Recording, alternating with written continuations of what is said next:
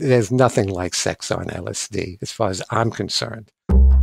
Cannabis truly is a pharmacy and a flower. Survival comes with cooperation. Pleasure is healing. You're being a warrior of the weird. I'm Lex Pelger, Director of Education at CV Sciences, and this is the Lex Files.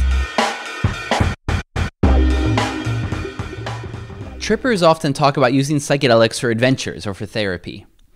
But what about their power for bonding and relationship building? Charlie Wininger's new book, Listening to Ecstasy The Transformative Power of MDMA, is about exactly that.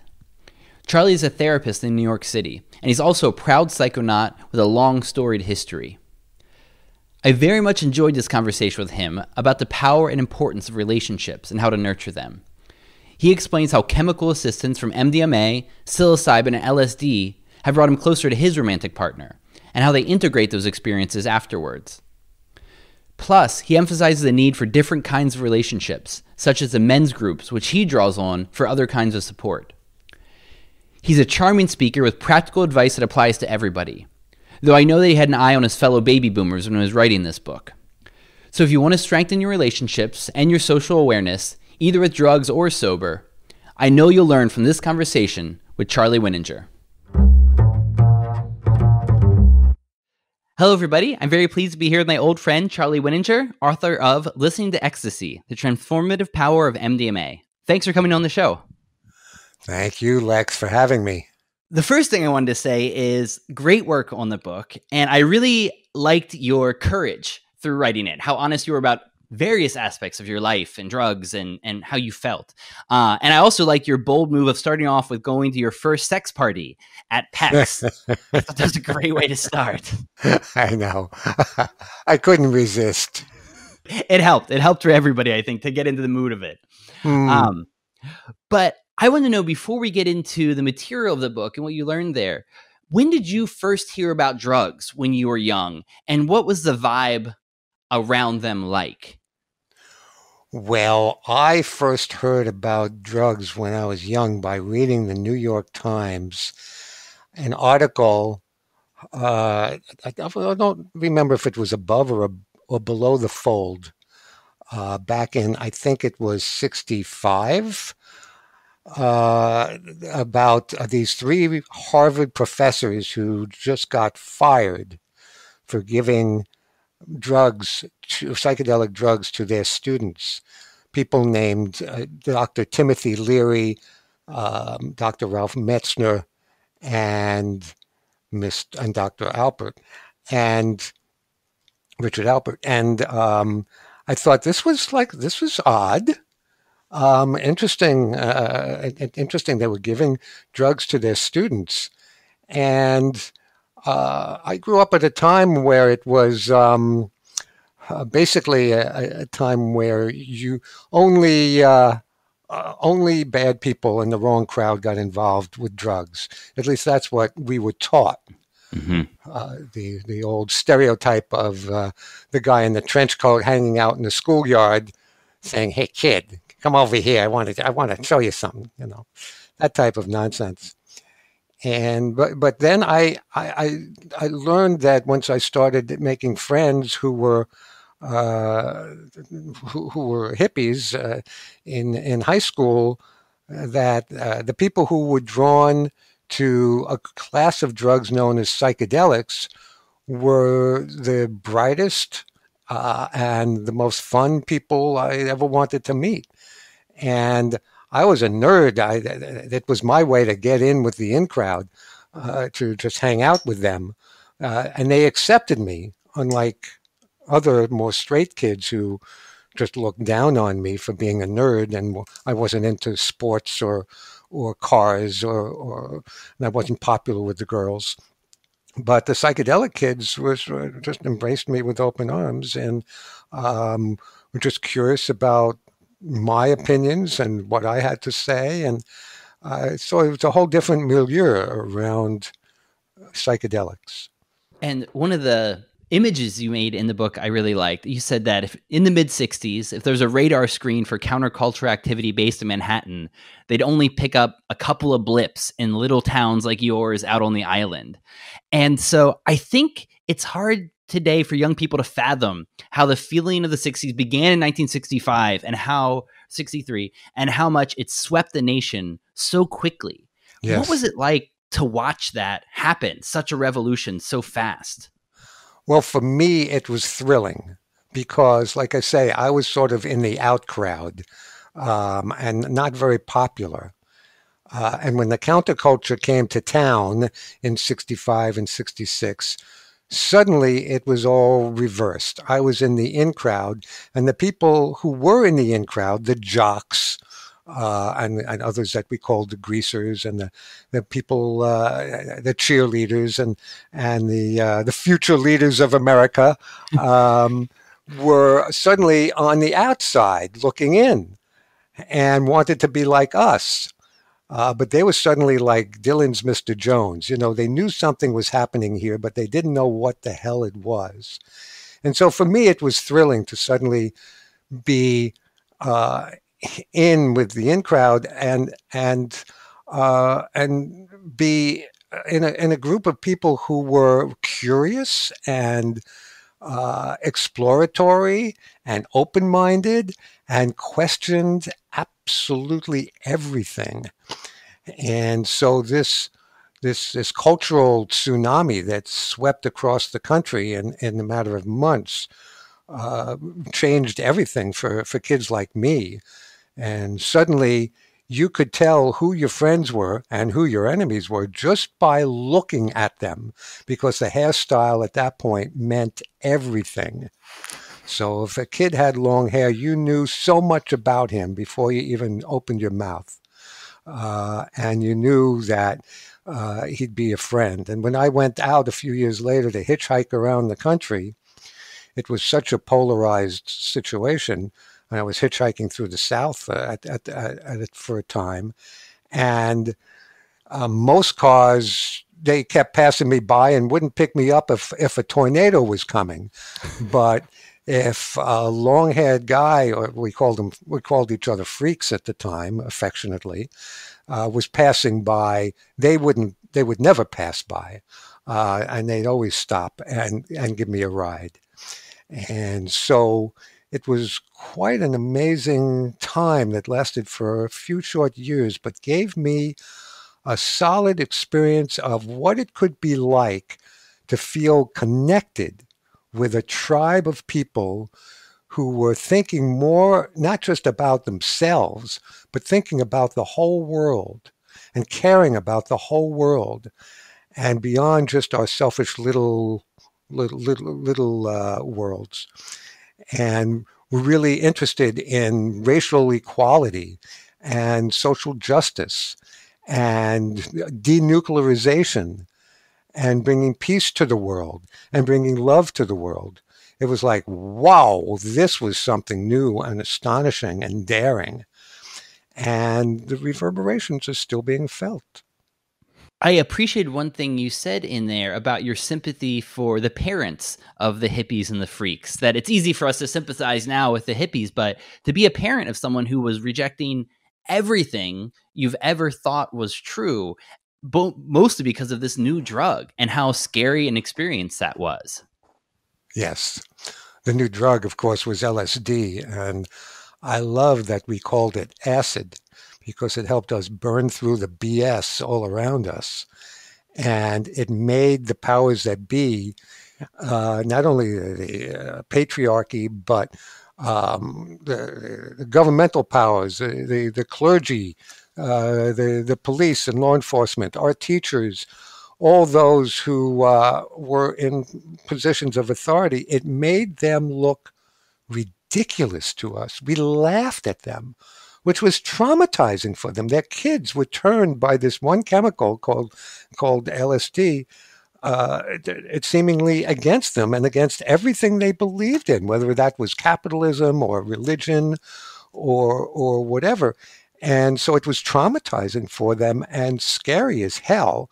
And so, as I say in the book, uh, within a few short years, they reacted by putting Nixon in the White House and uh, Tim Leary in the jailhouse and psychedelics in the shithouse. Uh, that they did. And so since your book is about relationships and you're and you're a therapist as well, in this in your first phase here with this type of drugs what did you what do you remember learning about what psychedelics and entheogens in general could do for uh, romantic relationships and platonic friendships. Well uh, like it like it did with my friends uh, it gave us something that we shared on a very deep and esoteric level. Uh, we had this secret bond. Uh, we saw the same things uh, when we tripped. We, we, we pierced the veils of reality and saw the absurdity of, of, of the world, which gave us a, a, a sense of bonding that was very, uh, very special and really lifelong. Uh, as far as romantic relationships were concerned, um, I didn't trip with a lover too often at the time. It was more thereafter, it's more afterwards. It was really, that didn't really start for me, honestly, until I met Shelley in the year 2000. Uh, and, and we started experimenting together, especially with MDMA. So in the 60s, I didn't really have romantic experiences uh, on drugs, unfortunately. So your story of falling in love with Shelley is so sweet in there. And I very much appreciated your advice about not taking your own laundry list of what you want in a partner too seriously. And I was wondering if you could share a little bit more on that, of just how how that happened and how and what you learned there. Shelley blew my mind um, uh, because uh, I, I I just wanted to be with her because it was fun to be with her. I uh, just wrote her off from the start uh, uh, as being the potential for me of, of being a long term relationship because she didn't meet my laundry list, which had to do with somebody who was psychologically sophisticated or an intellectual. Uh, Shelley was intelligent, but not an intellectual. Uh, somebody who was politically savvy, Shelley was none of those things. Somebody who was um, uh, in, into seeing that relationships were drama and struggle. Uh, and with Shelley, it was just easy. So she wasn't satisfying my need for drama and struggle. All she was doing was making me happy. And it took me a while for my head to catch up to my heart. My heart fell in love with her the first night, but my head took a while for it to say, "What you mean? Like what? I, you mean relationships can be fun, happy, easy, joy and play and fun could be the basis of a relationship." Who knew? I didn't know, and when I realized that, it was like it was like the, the easiest lesson of my life, and I realized that I was completely head over heels in love with her uh, and it took me a while to realize that, but when I did, then I just wanted to get as close to her as I could, and uh, wound up uh, wound up marrying her. I don't know why she went along with that, but she says she's having a good time too. So who am I to question that? And one of the things I've led that good time is now this shared interest in psychoactives. But I think in the beginning you had that common um, issue where you were still interested in in mind expanding drugs, but she wasn't that experienced and was a little wary. So, what advice would you have for people who might have one partner who's more interested, another who isn't quite as sure if this is good for themselves or good for the relationship? Go gentle on them. Nobody wants to be proselytized to, and nobody wants to be told what they should do. Um, and uh, you know that, and I know that. So, um, the best way to persuade a partner to do these substances is to do them yourself and enjoy them and get a lot out of them and share your own experience without pushing them in the least. And hopefully they'll come around. Uh, and the best way for them to come around is with MDMA, uh, which is, of course, what my, my book is about. I call it the chemical of connection because uh, it helps one connect with oneself and a partner and, and the world at large. It's the gentlest of all these drugs. It's very difficult to have a bad experience on MDMA. Uh, it happens, uh, especially if you don't know how to do it right, but um, it's the most user friendly and uh, the best and easiest introduction to the uh, psychedelic pantheon.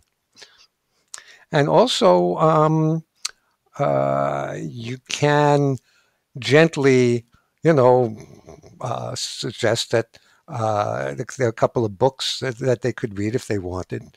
Uh, Michael Pollan's How to Change Your Mind is a great introduction. And most people who read that book are not going to take psychedelics. They're just curious about them. And it's a very good read. And, um, and, and or you could uh, get them my book. And people are enjoying that one too. So they are. I did. um, and I what I liked is it was so many great stories and also a lot of really solid practical advice. And so mm-hmm. I was going to ask if you were going to have a first experience sharing MDMA with a partner, how would you set it up? What kind of um, uh, things would you put in place uh, between yourselves interpersonally, as well as how you would set up the space? Well, the mantra in our community is set and setting. So the set is the mindset going in. So I would say to the partner, well, what I said to Shelley uh, the first time, and she was very willing to try it. Uh, I said, you know, let's let's talk before we do this about what you want out of the experience, what you expect, um, what your intentions are, any fears that you have. Just get it all out in the open, um, and just just to listen to your partner, just be uh, neutrally listen and just receive them and understand what they're saying and um, calm their fears uh, if if uh, it's appropriate to do so and um, encourage them to you know just go with the ride.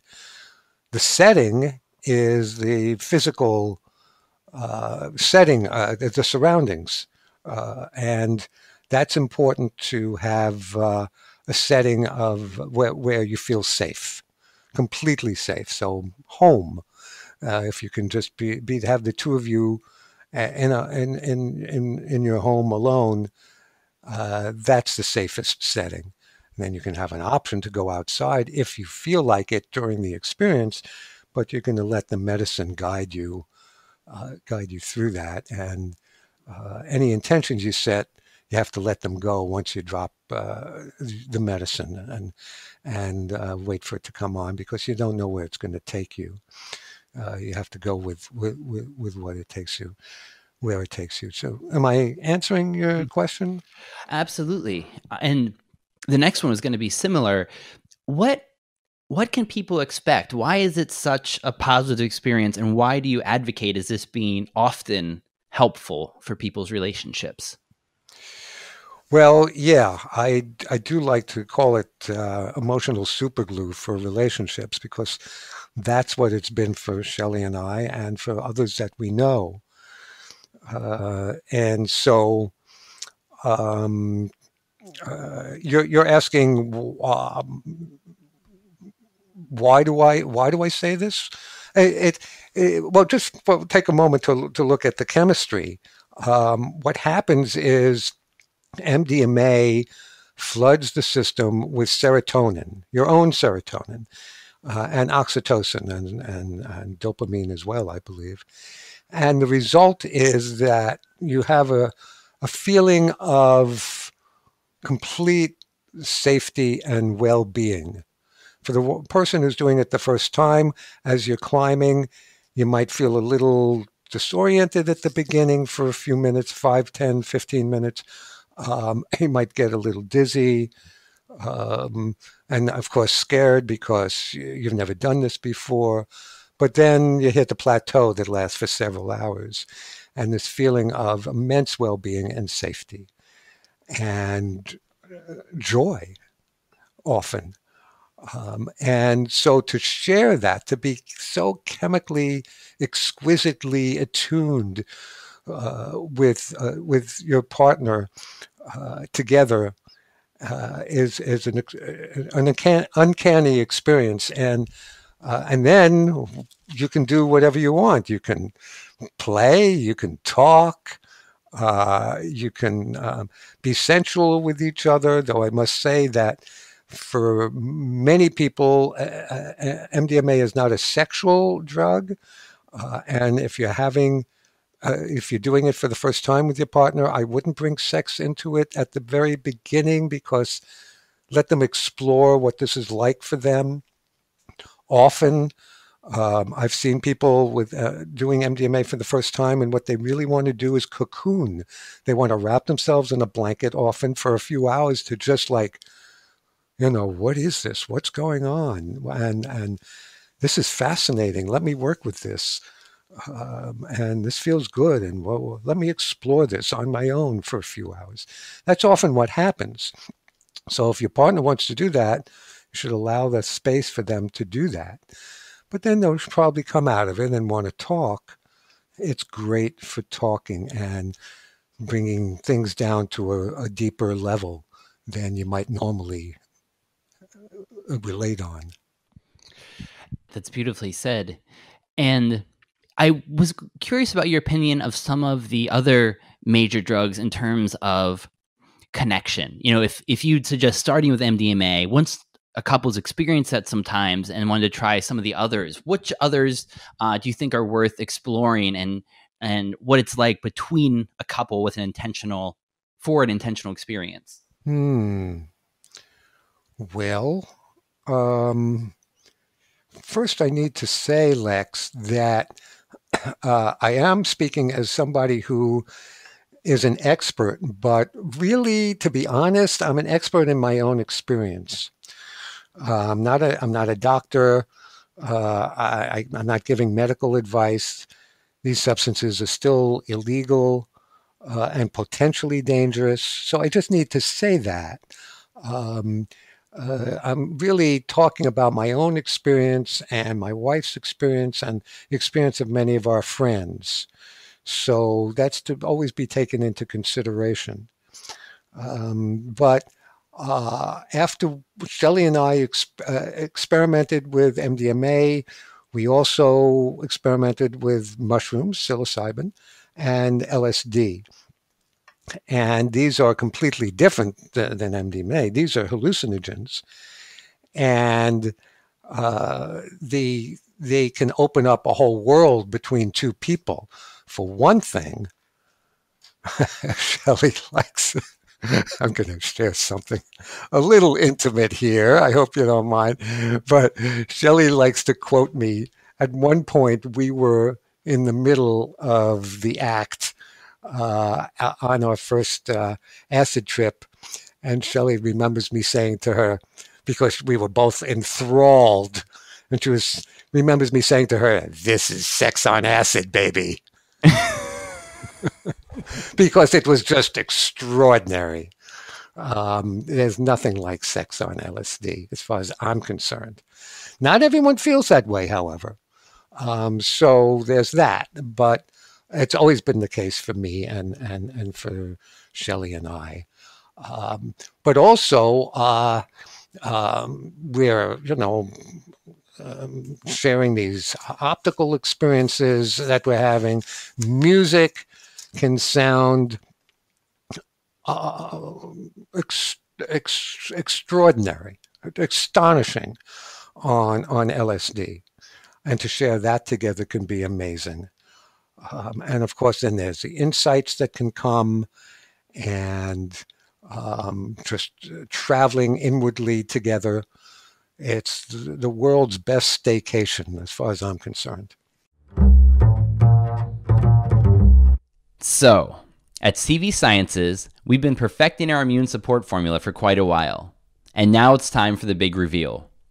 It's called CV Acute it's actually CBD free and it's very different from typical immune products. CV Acute comes in a small bottle containing just enough for three servings per day for three days. It's for when you're just starting to feel off or when you're in a situation where you might not be able to social distance, like on an airplane. CV Acute is based on a famous prescription from Chinese medicine. It combines the fruit of the forsythia, the root of the Baikal skullcap, and the flower of the honeysuckle. The World Health Organization has studied this formula and called it one of the leading seasonal support formulas on the planet. So, how does it work?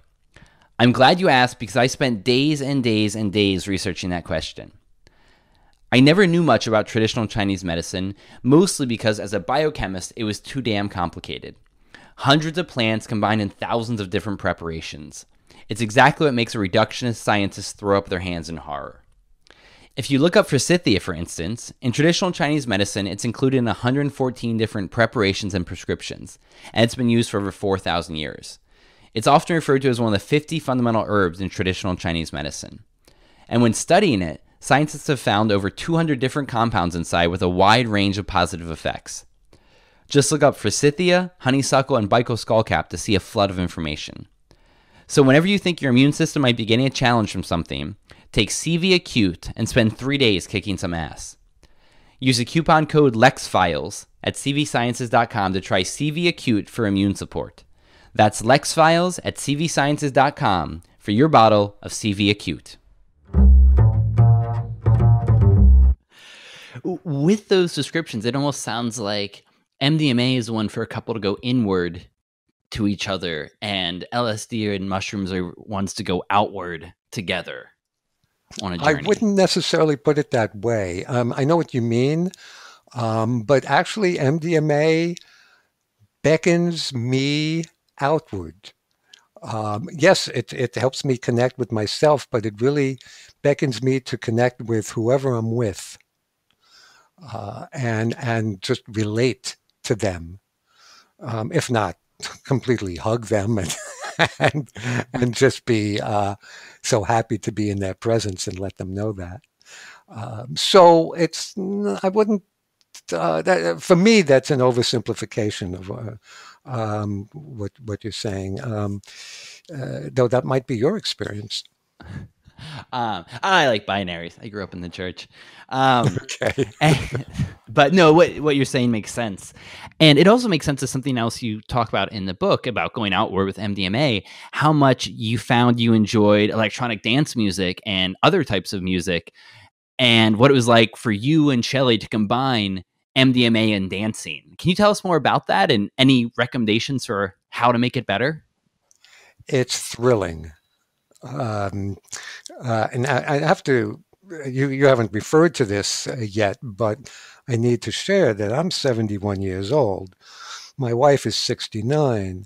And uh, for us, you know, when we started doing this, it was 20 years ago, still in, in, our, in our 50s and then up and through our 60s for us to have an experience of dancing like uh, we were half our age because of the this feeling of of utter vitality that was coursing through our bones and our veins was um, just euphoric. Uh, and for me, it's just, it was a revelation that this 40 year old, 30 year old, 20 year old Charlie was still in there just wanting to let loose and celebrate. And no better way to do that with MDMA, in my opinion, than with EDM, electronic dance music. Uh, and to dance together at at a rave or or or or just at home uh, can be uh, just a, a marvelous experience. I also like how you said that EDM music, which is normally known as electronic dance music, could just as easily stand for everybody's doing Molly. right. and it really speaks to how ancient this is in human societies and human tradition to get twisted on something, anything, whatever's around, even if it's just breathe, uh, breathing techniques and dancing together as a group, yes. and that we're coming back into this. And so you have this big network in New York and you you two are are godparents to a lot of of people in New York around this community. It's a beautiful thing. Can you talk about how this might feel like a spiritual community? How this might feel like somebody's uh, mosque or synagogue or church just to be in this group? Well, before I get to the spiritual, let me say something else that I, I neglected to say a minute ago uh, about dance, which is it taught me being with Shelley and also dancing with Shelley on MDMA taught me how fun and play and joyful celebration can in themselves be transformative experiences. And I never knew such a thing could could be true. And so that's where we get into the spiritual because I always thought uh, of a spiritual life and spiritual pursuit as being quite stern and serious. And of course, it can be, and at times needs to be, but that's not the only aspect of it. Spiritual existence and pursuing that existence can be a joyful pursuit as well. And that was a revelation to me. And what these substances do for me is they make me realize that my sense of being a separate entity cut off from the rest of the human race because of my own personal personality and my own whatever shame I carry as a human being, whatever guilt I carry, all my neuroses, all that is just an illusion. It's just not important. That in reality, we're all made of the same stuff and we all have much more in common than we have differences, and what we have in common is much more important than our differences. And that's the beginning of a spiritual awakening for me. And these substances help me see that because when you're high on any one of these substances, the ego dissolves temporarily while you're high. Uh, and uh, and it's like the veil's dropping, and it's like suddenly coming to and awakening and realizing like oh i've just been trapped in my own head my own ego my own body ego thinking of myself as a separate person with my own thoughts and worries and concerns but there's this whole world that i belong to that i belong with. Uh, a world of humans a world of, of living things a world of nature the whole universe. I'm a part of it all. And as deserving as anyone of love and happiness. And that's uh, these these compounds are, are tools for that kind of awakening. And maybe to switch and put on your therapist hat, but still in that same vein of ideas what do you see these do for the healing? Uh, maybe not among your patients uh, per se, but among the people around you from the emotional therapeutic angle of what these mm. do. Yeah, I I don't. Uh, I, I, wish I could uh, have run medically assisted uh, uh, uh, sessions, but I don't. I practice sober, and my patients are sober during the se- sessions. So I look forward to the time when we can legally do that because um, I could do, for example, six months worth of couples counseling in a day uh, with a couple that I'm doing uh, that I'm guiding them through an MDMA experience because it helps them, like I say, dissolve the egos and the conflicts between them suddenly become something that they can look at from a softened, more open-hearted place.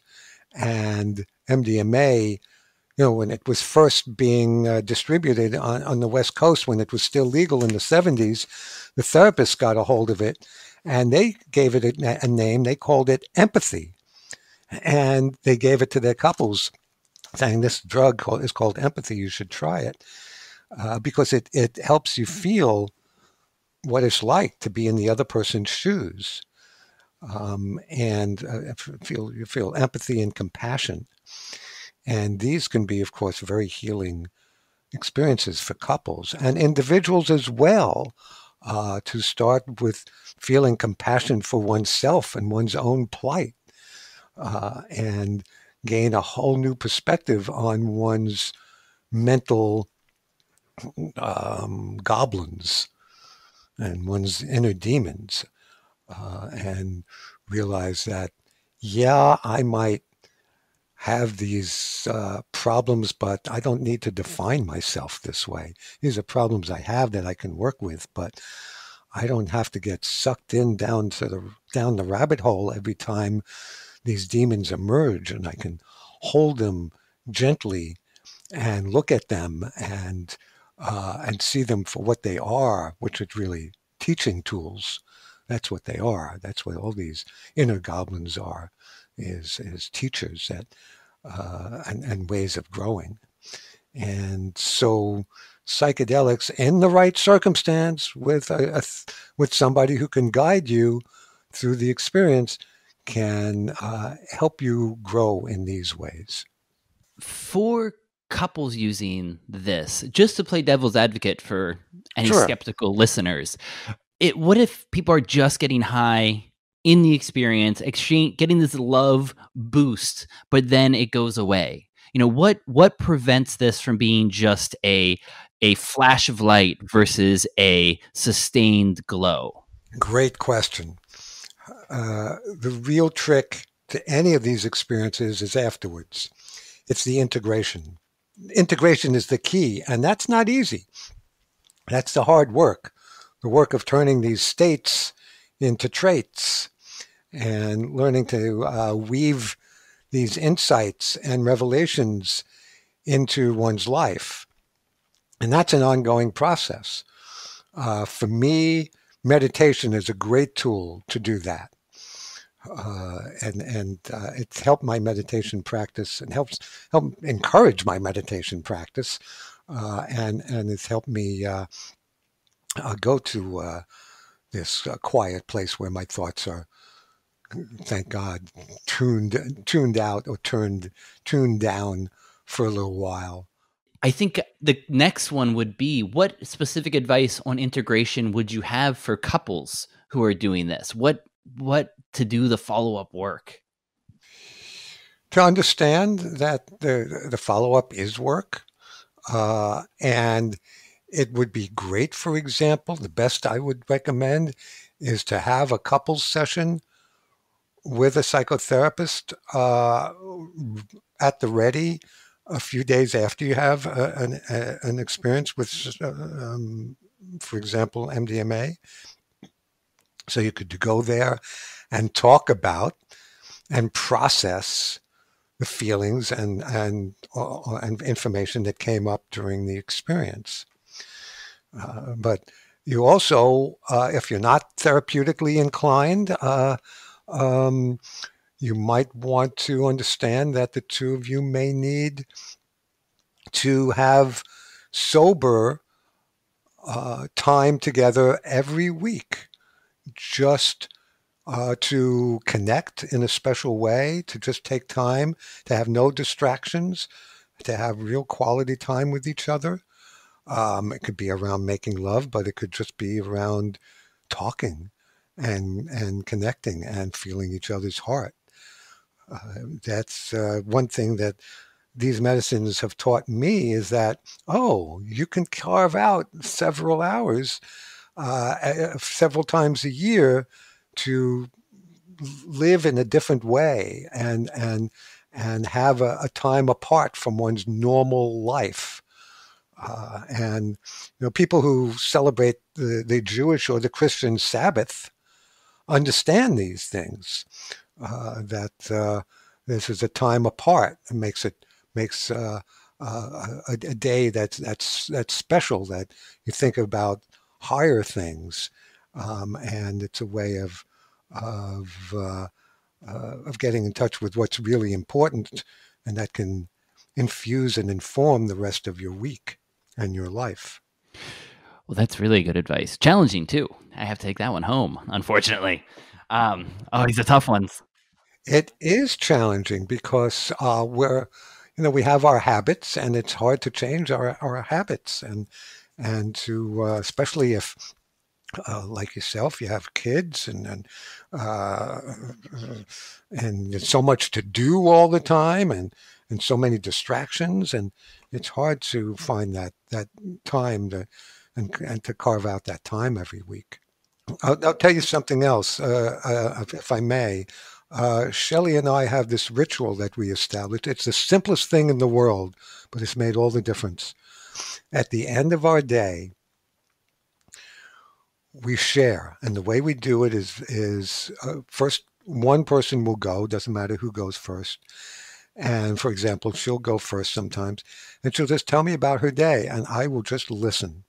And it might take five minutes, it might take 20 minutes. And she'll tell me everything that she wants to share with me about what happened during her day. And my job is to just listen, not solve her problems unless she's asking for advice, um, uh, not uh, try to change anything, um, but just listen. And when she's done, after uh, as long as it takes, then we switch. And I tell her about my day and all the details that I want to convey. And she listens. And it keeps us connected throughout the week. And it's a very simple but very special connection ritual that, that works for us very well. I like that. And it actually reminds me of one that uh, my wife Claire and I learned from Stan Tatkin. He he had this order, and you know he's a bit of a bully when it comes to relationships. And he said, "You have to go to bed together. You have to put each other to bed. I don't care that you like to stay up later or whatever. Mm. It doesn't mm. work with your schedule. Um, it's your job as a partner to put each other to bed. Mm. It's it's more important than you realize in terms of rhythm." Yeah. Um, yeah. and I didn't like that one. I like going. I like being uh, going to bed late, but it it did help a lot. Um, yeah. And so I, I, I really like this. And the other thing to change gears a little bit, you talked about the importance of doing your own work on yourself, and you wrote some about uh, your own men's group. And I wondered if you wanted to just share on the importance of that for you, and the importance of people finding something for themselves for their emotional and or spiritual development that might be apart from their partner, but is in service to the relationship in a sense. Yes, um, I am a big believer in support and, in group support, people in the same boat as you. Uh, and for me personally, this uh, this may not uh, apply to everyone, but I have found same-sex support to be uh, just uh, a tremendous blessing in my life. I've been in and out of men's groups all my adult life. They've made all the difference. And what we do, I have this bunch of men who are, there's six of us all together. And we meet every week and we support each other with our goals, with our relationships. Uh, and we also joke around. And these are men who know me inside and out. I withhold nothing from them. They know more about me than anybody. Uh, and uh, and they call me on my BS if I am, you know, if I have that, and and it's been a great um, support for my marriage because uh, if I'm angry at, at Shelly for something or if I'm going through something with her, I'll bring it to them and and talk to them about it. And half the time, or more than half the time, actually, they say, "Charlie, get over yourself." Uh, you know, you're taking yourself way too seriously, or you're taking what you said personally, or this or that, and because they know I can take things personally, and they set me straight, so I can then bring my best self back home. And so it's uh, it's been a, a tremendous blessing for me. You know, in the past, uh, relationships were never meant to just be about two people. It always as I like to say, it takes a, a, village to raise a relationship. And uh, through millennia, in all cultures, it's been the, the larger family and the, and, the, and the tribe and the community and the congregation that has supported the marriage. Uh, but in Western society, at least in, in this country, uh, in America and, and, and a, in a town like New York City, a lot of people think, no, it's just you and me against the world, babe. Um, we don't need anybody else. And that can be dangerous for a, a, a relationship uh, because you, are putting too many of your social needs uh, onto one person. And the relationship can, can, can collapse under its own weight. You need support from friends and, and family, or at least certain family members that you can trust, uh, who are who are, can give wise counsel. Uh, we all need that. I sure do. Mm-hmm. Before I let you go, if this conversation intrigued anyone listening to experiment with these drugs and relationship deepening. Do you have any last words of advice for them? Well, um, yeah. Um, Besides, buy the book. because I'll tell you, buy the book because um, no, uh, you don't have to buy. Uh, the, my book has a, a, guide to safe use, um, uh, which I, I, I, worked very hard on. But you could also find that information online, like uh, at uh, on Erowid.com and other places. You need to know what you're doing going in. Uh, you really need to be careful. All these these are very powerful medicines. They can do a world of good, but they can also be uh, you can feel like Mickey Mouse at this, uh, playing Sorcerer's Apprentice. Uh, if you don't know what you're doing, uh, and if you get in over your head, um, it, it, it can be a harrowing experience. So you really need to educate yourself uh, before doing this alone or with somebody else. That's good advice. And it reminds me one thing I feel compelled to share is that everybody has an Achilles heel psychoactive that doesn't work for them. And for mm. instance, mine is MDMA. Um, mm. I think it has an amphetamine component, an upper component. Yes. And so for me, uh, the love, lovey dovey part doesn't hit me nearly as hard as the jitters of being very, very uh, speedy. And it just makes for an unpleasant experience for May me. May I make a suggestion? Yes. Um, well, maybe, maybe, you've done this before. Maybe you've tried this. Um, course, I've heard this. Uh, now, about you know, 10 or 20% of people who try MDMA have this experience. And matter of fact, I know somebody who was so wanting to turn their partner on to MDMA. I said to, to share it with them, and they did and their partner was saying, uh, like, uh, this is too much. I'm, this is overwhelming. And I, I just want to walk around and shake it off. And when will it end? And um, it was very unpleasant. So I advised this person, just as a friend, said, next time you do it together, if you can persuade your partner to do it a second time, don't give them the full 120 milligrams. Give them 80. And they did, and it was magical he said. It was just extraordinary. They had a wonderful time and they want to do it again. So I don't know if that if that if mm-hmm. that can apply to you if you've ever tried doing less.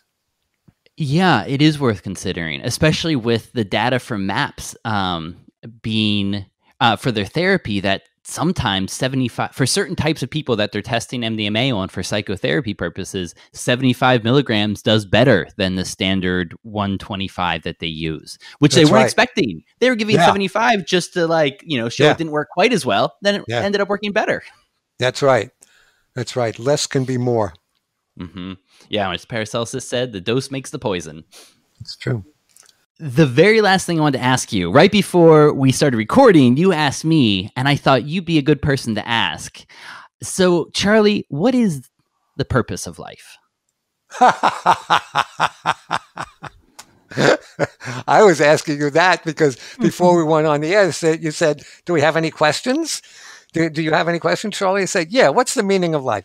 Um, uh, I, you know, for me, I, I, can't speak for anyone else. Um, uh, ask me in 10 years, maybe I could speak for other people too. But uh, for me, it's all about um, being here to help others.